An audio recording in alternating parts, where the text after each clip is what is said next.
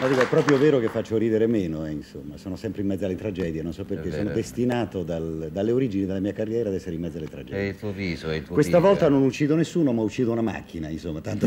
E a proposito di macchina, immagino che guai a sbagliare in quella scena. Sì, perché c'erano piene di aggeggi elettronici che scoppiettavano così Quindi- mandavano scintille. Una volta da fare e E basta. infatti una volta sola è stata fatta, sì, non abbiamo potuto fare il secondo chuck. Il secondo chuck, senti. La cosa che invidio di più, devo dire, sono i miei capelli lunghi, che in questo momento mi mancano.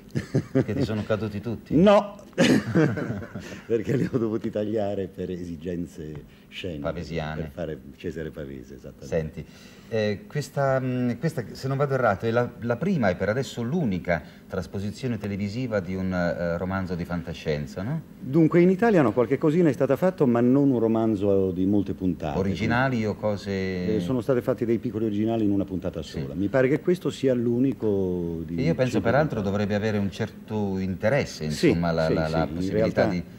In realtà io avevo anche suggerito, devo dire, di fare la seconda parte di Andromeda che esiste, perché esiste un secondo romanzo di Andromeda. Non l'hanno ma- fatta perché Bramieri era occupato. Ma poi mi risulta che Gigi è un cultore di... Sì, Sì, sono stato no? un cultore di fantascienza, infatti. E di astronomia e astrologia o vado errato? Di astronomia, Di astrologia astronomia. no, ne No, so di- poco. sì. Ho capito. Perché anche a Voyager mi ricordo che leggevi delle pagine Di- di- di fantascienza. fantascienza, dei racconti molto interessanti. Gianni,